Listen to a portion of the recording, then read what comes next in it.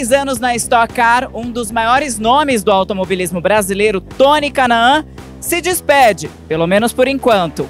Ele vai assumir novos desafios e dessa vez fora do cockpit. Tony Canaan, imagino que você deve, deve estar com um misto de sentimentos nesse momento, né? Você pode explicar mais ou menos o que está passando na sua cabeça, no seu coração? Então, está apertado. Eu acho que, ainda mais que foi uma decisão minha, por uma escolha de carreira que pintou a oportunidade na McLaren e eu não ia conseguir me dedicar 100% aqui.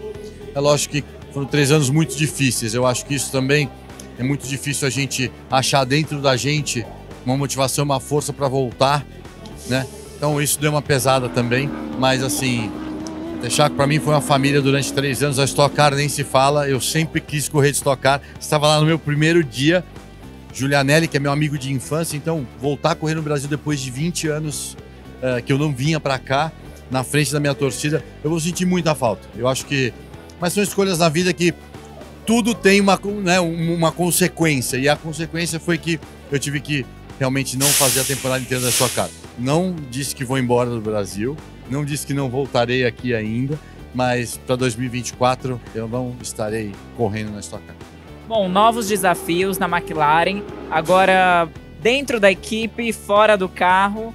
É, explica um pouquinho do que você vai fazer, do que você já está fazendo. Bom, eu faço um pouquinho de tudo ali. Eles me chamam de, de diretor esportivo, mas eu cuido desde os contratos dos pilotos que a gente já tem, dos pilotos que a gente quer contratar, de engenheiros que a gente quer trazer para a equipe e isso na parte burocrática e um pouco dos patrocinadores, fechar contato com o patrocinador.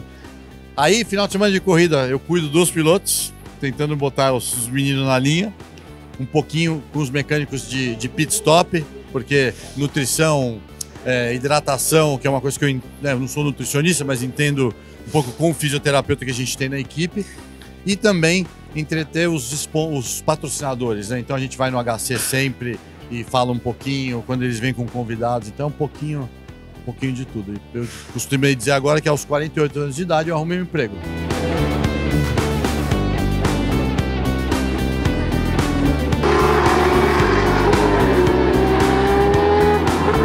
Agora, Tony, você pediu para chamar o Julianelli, o CEO da Vicar, aqui no seu box. Por quê? Conta. Bom, patrão, né? Responsável por esse show.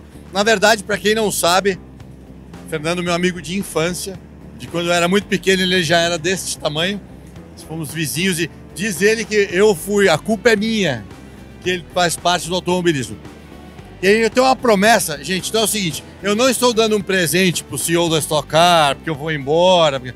É o meu amigo, meu irmão. Perdi meu pai super cedo, o pai dele sempre foi um cara que depois disso me ajudou em relação até os conselhos, tapão na orelha, aquelas coisas. que a gente cresceu junto. E, sei lá, quanto tempo, Fê?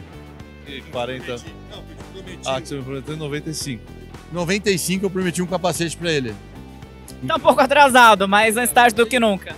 O que que acontece? Eu acho que tudo tem um motivo, tudo tem uma razão. Então, quer dizer, quem a gente, 95 a gente nem sabia aonde a gente ia chegar, né? Eu tava na Europa lá, Fernando fazendo outras coisas, e hoje eu tive o prazer de trabalhar com ele, né? Correr na categoria que ele faz um sucesso gigante aqui no Brasil durante esses três anos. Então, ele vai levar o meu último capacete de Stock Car.